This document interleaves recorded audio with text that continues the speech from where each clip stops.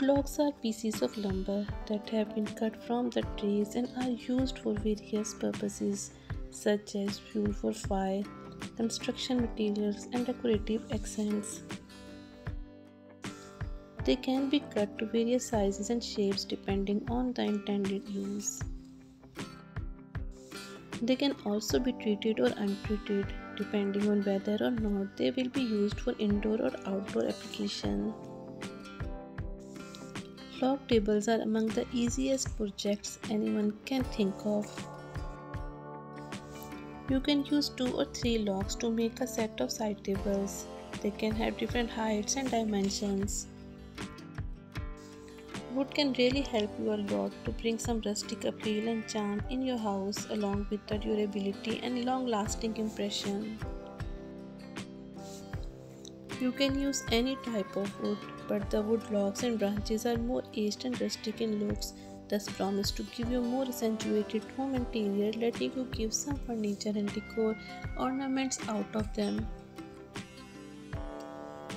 A log table is a versatile piece of furniture and there are so many different style options that you can choose from to make the perfect log table for you. Here are some practical ideas for making your own log table. The difficulty level you will face when making the log table will depend on the type you choose to make. Some log branches are more rustic while others offer a modern look that can be used indoor or outdoors. While many log tables are easy to make, others may require you to have some woodworking experience. The difficulty level of a log table will depend on which log table you wish to make.